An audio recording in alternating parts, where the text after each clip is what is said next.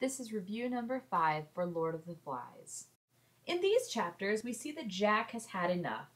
Between he and Ralph's leadership, they've come to a head, and Jack decides he, quote, doesn't want to play anymore. So he takes a few of the boys and they scamper off to play games of hunting and killing, which leads us to believe that the savagery element we've been speaking about as a theme has come to a head.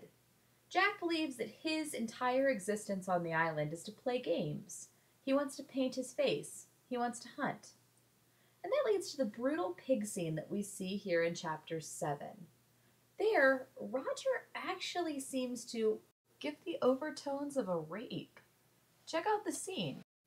Roger found lodgment for his point and began to push until he was leaning with his whole weight.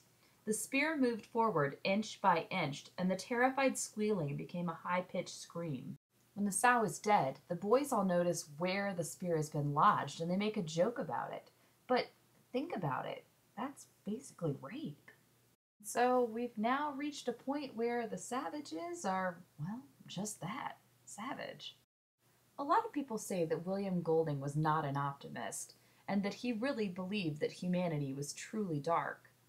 But I say, if that was really the case, we wouldn't get this scene with the Lord of the Flies and Simon. Yes, Simon is having a seizure and hallucinating, but in that hallucination, we get to the main point. The beast says, Fancy thinking the beast was something you could hunt and kill. You knew, didn't you, that I'm part of you? Close, close, close. I'm the reason it's no go, why things are what they are. Golding doesn't believe that there's no hope for humanity, just that humanity is its own downfall, something we're getting ready to see in the next chapters. Questions about symbolism, inferences, or the plot? Let me know.